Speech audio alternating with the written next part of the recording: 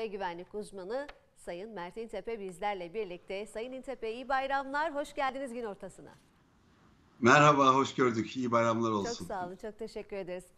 Evet, e, bayram denilince işte o trafik oldukça hepimizin gözünde değil mi? Yoğunluk oluşuyor birçok bölgede. Haliyle insanlar memleketlerine tatile gidiyorlar.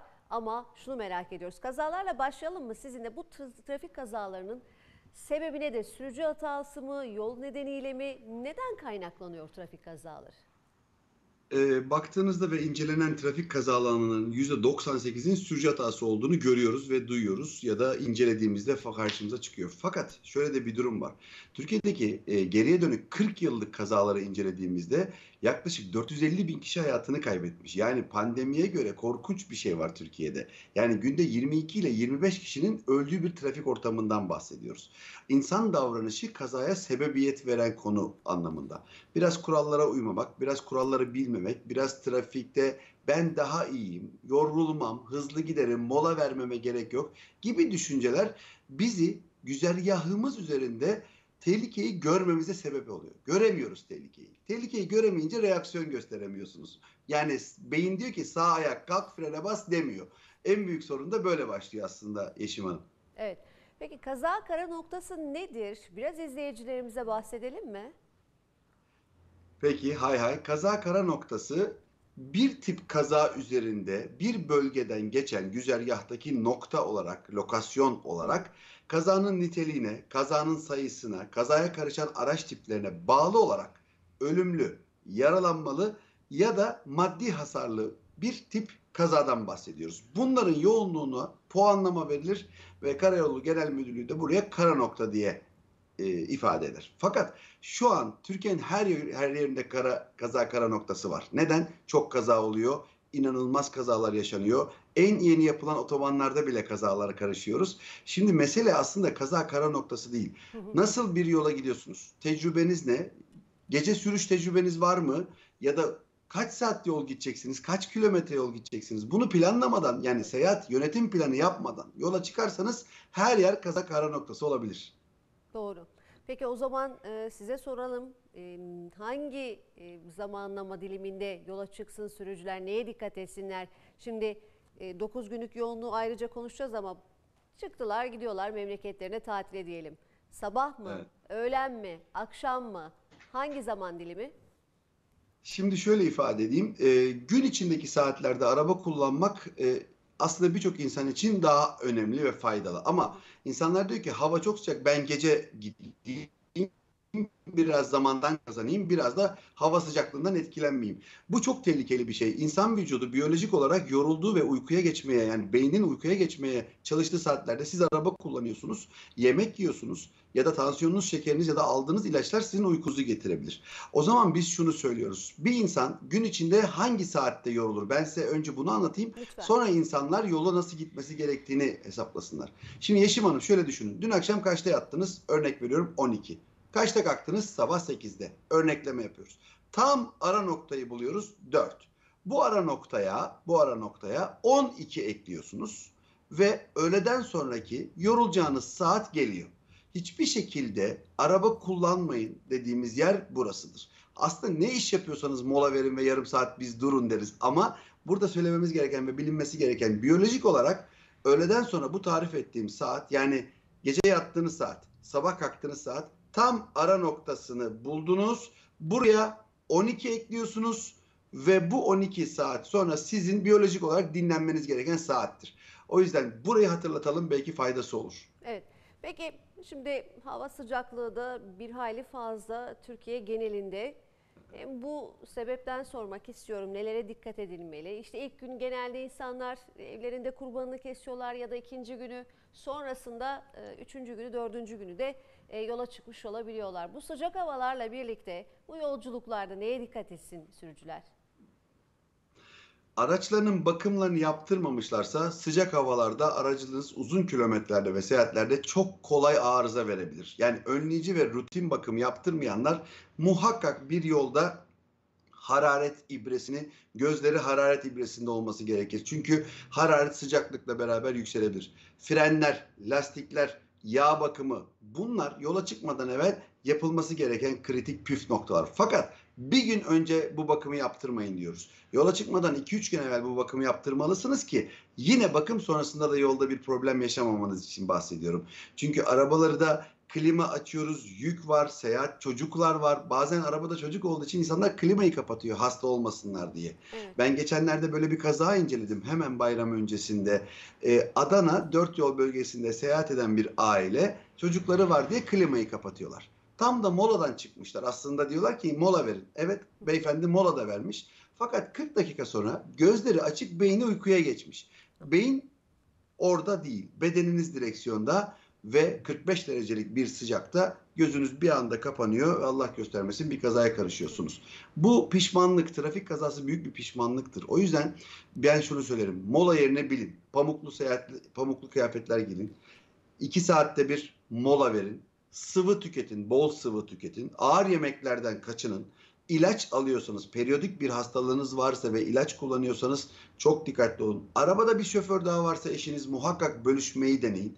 Ve gerginlik anı var. Herhangi bir şeyden dolayı. Arabada bir gerginlik oldu. Ailecek hepimizin başına gelebilir. Muhakkak mola verin. Seyahate devam etmeyin. Çünkü bir bayram telefonuna bile cevap verdiğinizde hemen kafanız başka bir yere gidebiliyor. O yüzden söylemek istediğim püf nokta insanların davranışlarını değiştirmesi lazım. Fakat davranış düğmeye basarak değişmiyor. Yani bir arabada bir düğme yok ki basayım bu davranışım değişsin trafikte kazaya karışmayayım. O zaman biz diyoruz ki 3T trafikte tehlikeyi tanımla. Yani trafikte farkındalık sanatı şudur. Trafikte farkındalık sanatı riskli olanı görmektir. Eğer trafikte riski görürseniz önlem alabilirsiniz diyoruz. Kesinlikle önleyici tedbir dikkat edeceğiz. Çünkü güzergahın her yeri kalabalık. Şu an ekranlarda gördüğünüz büyük şehirler boşaldı. Bütün yazlık bölgeler kalabalıklaştı. Ege'si, Akdeniz'i. Ama Ankara'dan Mersin'e doğru giden güzergah, Trakya'ya doğru giden güzergah. Bir de bunun dönüşü var Yeşim Hanım. Herkes dönüşte aynı günlerde. Onu da size soracağım ama önce şunu sormak istiyorum Sayın İntepe.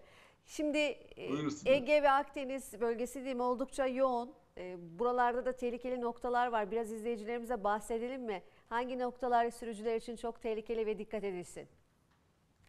Ee, ben şöyle söyleyeyim. Şu an e, otobanlar yeni yapılmış olmasına rağmen İzmir-İstanbul otobanı riskli söylüyorum. Çünkü insanlar çabuk gitmeye, hızlı gitmeye çalışıyor.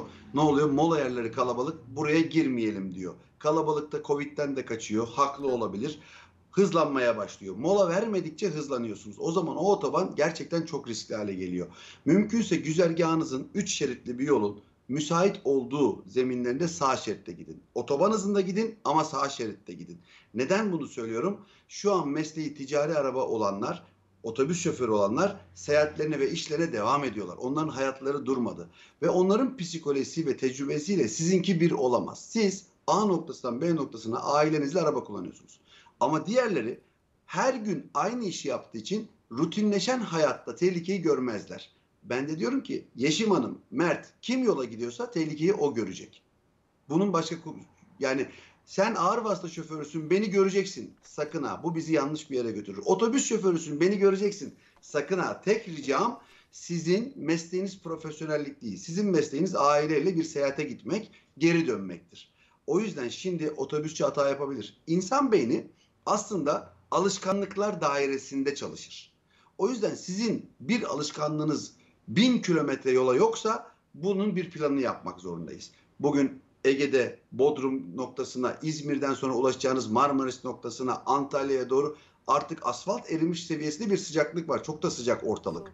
O yüzden demek istiyorum ki günün belli saatlerinde aynadan size ışık gelir. Ya da sabah erken çıkayım bu sefer ışık güneş karşıdan yüzünüze vurur.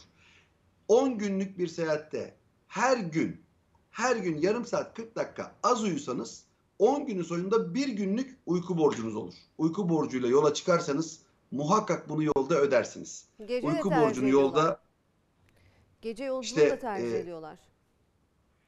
maksimum 10.30-11'e kadar gece araba kullansınlar derim. Ve arada sabah 8'de çıktınız, akşam 8 oldu, hala yoldasınız. Lütfen kısa bir böyle power nap dedikleri bir uyku yapmamız lazım. 15 dakika bir gözünüzü kapatarak bir dinlenmek lazım. gündüz 15 dakikalık uyku gecenin 2 saatine bedeldir. O 15 dakikalık uykuyu alıp tekrar yola gitmek önerilerimin arasında. Çünkü 10 saatlik bir uzun seyahat gerçekten büyük bir risktir bilmenizi isterim. Evet. Her insan teşekkür için. ederiz. Ee, Çok önemli bilgiler veriyorsunuz ama şunu da sorayım. Geçmiş yıllara baktığınızda bugüne geldiğimizde trafik kazalarında daha dikkatli olmaktan kaynaklı bir azalma olduğunu söyleyebilir misiniz? Hangi noktadayız? Ee, Valla ben şöyle söyleyeyim pandemi döneminde saymazsak ben pandemi dönemindeki trafik kazalarında açılan rakamları pek e, kale alarak bir yoğunlaşarak bir rakam söylemek istemiyorum. Biz pandemi dönemin öncesindeki kazalara bakarak fikir almak zorundayız Hı. ve baz almak zorundayız. Türkiye ortalaması yılda 7500 ila 10.000 kişi ölüyor her yıl. Bu yani bildiğiniz bildiğiniz Türkiye'deki en büyük PKK teröründen de daha fazla 10 kat insanı trafikte kaybetmişiz. O yüzden pandemi döneminde trafik azaldı, insanlar evlerinden çalışmaya başladı. Zaten şu an o kadar o yüzden kalabalık. Herkes dışarı çıktı artık ve seyahat başladı. O yüzden insanlar araba kullanmadaki bazı dikkat ve konsantrasyonunu da unuttular. Hı hı. Şimdi siz pandemi döneminde bir şirket çalışanısınız ve evden çalışmaya başladınız. Hepimizin de olduğu gibi sizin dikkatiniz, konsantrasyonunuz ve aslında araç ergonominiz kafacak gitti. Ne yapıyorsunuz? Terlikli arabaya biniyorsunuz. Terlikli arabayla frene basmaya çalışıyorsunuz. Terlikli araba kullanmak çok tehlikeli ama kimsenin aklına gelmiyor. Çünkü ayağınız kayıyor terliğin üzerinde. Fren yapamıyorsunuz. Acil bir durum var. Frene bastım zannediyorsunuz ama maalesef frene yeteri kadar güçle basamadığınız için iyi bir arabanız var kazaya karışıyorsunuz. Şimdi şunu söylüyorum. İyi bir araba almak yetmez. Dünyanın en iyi arabasının güvenilir hali sizsiniz. Ben o yüzden hep şöyle söylerim. Tüm kullanıcılar araçları kadar güvenlidirler. Ama sizin fikriniz ne ona bakalım. Kaç saatte gitmeye çalışıyorsunuz? 120 ile mi gideceksiniz otobanda? Bir de hiç 160 durmak istemiyoruz. Mola vermeden biraz önce siz de söylediniz ya Sayın İntepe. Hemen gidelim istiyoruz. Öyle, şöyle bir kültür var bizde işte babadan gelme. Bütün solladıklarım beni geçiyor. O yüzden mola vermek istemiyorum diyor. Türkçe kültür buradan geliyor. Bizim kültür miraslarımızdan birini trafiğe yansıtamıyoruz biz. Bizi ülke olarak müthiş kültür mirası olan bir ülkeyiz. Hı hı. Ama trafik gerçekten bizim açımızdan çok üzücü. Ve ben şunu söyleyeyim. Şu an her 7 ailenin birinde ölüm var. Her 7 ailenin birinde ölüm var. Ve istatistikler böyle giderse 2025 yılında her aileden bir kişi trafikte hayatını kaybeder hale gelecek. Çok dikkat Çok acı bir şeyden gerekiyor. bahsediyorum. Çok çok.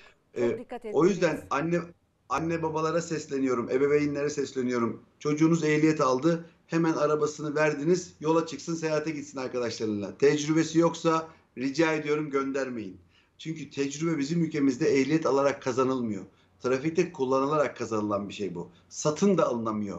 Kilometre ortalamanız geliştikçe tecrübeniz gelişebiliyor. Yol yaptıkça ya da bir güvenli sürüş eğitimi alabilirseniz bu çok sizin için başarılı olabilir. Çünkü bu ülkede gerçekten dünyada e, ehliyet aldıktan sonra bir gün zorunlu olarak güvenli sürüş eğitimi almak zorunlu olan ülkeler var. Dünyada böyle kriterler var. Adamlar kazayı böyle çözmüş. Ben diyorum ki Türkiye'de trafik kazaları henüz başlamadı Yeşim Hanım. Bak size garip gelebilir. Bir daha söylüyorum. Türkiye'de trafik kazaları henüz başlamadı diyebilirim. 450 bin kişi ölmüş ama diyorum ki başlamadı. Niye biliyor musunuz? Türkiye Avrupa Birliği'ne göre araç sayısı düşük bir ülke.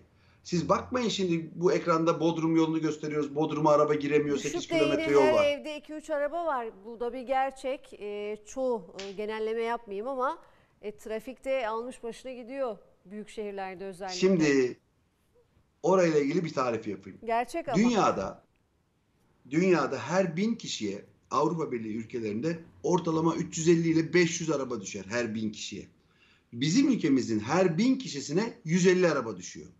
Ankara, İstanbul, İzmir, Bursa kalabalık ama Yozgat, Hakkari, Van, Kars, Erzurum, Erzincan o seviyede değil. O yüzden trafik kazaları yeni başlıyor. Bizim yapmamız gereken farklı konular var trafikle ilgili. Buradan duyuralım. Lütfen arka koltukta da emniyet kemeri takarak hareket etmeleri lazım. Biz arka koltukta emniyet kemeri takarsak bir kazaya karışabiliriz ama ölümü önleriz. Çok önemli bir kriterden bahsediyorum. Cep telefonu. Lütfen sürüş esnasında bir kenara bırakın. Çocuklarınızı kemer bağlayarak kullandırtın. Mola vermeyi unutmayın. Sık mola verin. E, trafikte kendinizle ve başkalarıyla yarışmayın. Trafikte birine ders veya eğitim vermeye çalışmayın. Ben eğitimciyim 25 yıldır kimseye trafikte eğitim vermiyorum. Yani camı açıp bak bunu bunu yapıyorsun ama böyle yaparsan demiyorum. Bu bir kavga sebebi. Tabii, O yüzden sıcaklarda kavga etmek çok kolaydır. Ee, dikkat etmek lazım. tabii çok doğru. Bir de şunu sorayım. Hani bu sıcak havalar demişken terlikli araç kullanımına ne diyorsunuz siz? Çok tehlikeli diyorum. Gerçekten parmak arası denen bu terliklerle araba kullanabilmek yapabileceğiniz en riskli trafik davranışlarından biridir. Çünkü terlik muhakkak bir yere takılır. Ya topuk kısmı ya da burun kısmı takılır. Siz onunla iyi fren yapamazsınız. Ama mesela bir örnek vereyim. Siz şimdi sunucusunuz. Ayağınızda topuklu bir ayakkabı olabilir. Topuklu ayakkabıyla da araba kullanmak çok tehlikelidir. Bu sefer de topuk yere dokunur. Siz iyi frene basamazsınız. Ayakkabılar düz tabanlı olmalıdır. İyi fren yapabilmek için kural bunu söyler. Düz tabanlı bir ayakkabı. Bagajda bulunsun. Evet sonra tekrar normal ayakkabılara geçebilirsiniz. Evet. Şimdi bayramı konuşuyoruz. Herkes tatilini devam ediyor. Memleketlerinde yakınlarıyla buluşuyor. Çok güzel ama bir de bunun dönüş yolu var değil mi? İşte o dönüş yolunda evet, ne yapalım, neye dikkat edelim? Herkes şimdi bir boşluk var e, büyük şehirlerde ama dönüş yolunda da inanılmaz bir trafik olacak. Hangi saat diliminde ne zaman nasıl yola çıkılsın, nelere dikkat edilsin? Pazartesi yola çıkmak gerçekten çok büyük risk. Neden? Kalabalık olduğu için bir kere risk. Yani trafik kendiliğinden kalabalıkacak. Hızınız düşecek ve doğal olarak zamanınız ve saatiniz uzayacak. Bu noktayı ya hafta içine yayarak trafikte dönmek lazım ya da bir iki gün evvel dönmek lazım. Benim söylediğim şöyle bir şey vardır. Güneş tatillerinin, deniz tatillerinin, yaz tatillerinin dönüşünde çok yorgun bir vücutla arabaya binersiniz. Burada muhakkak alkollü olmadan araba kullanmayı öneriyorum. Muhakkak gerçekten uykuyu alarak arabaya binmeyi öneriyorum. Hı hı. Ee, mola verdiğinizde sık olarak ama çok yemek yememenizi öneriyorum. Pazartesi günü yola çıkacaksanız bir, sinirlenmeyi unutun. Yani sinirlerinizi ameliyatla aldırmanız lazım. Bu trafikten kaçış yok. Herkes tek bir güzergahtan Akdeniz'den, Ege'den bir yere toplanacak. Ankara'dan, İç Anadolu'dan, Orta Anadolu'dan gelen otobandan gelecek. Hepimiz bir yere toplanacağız.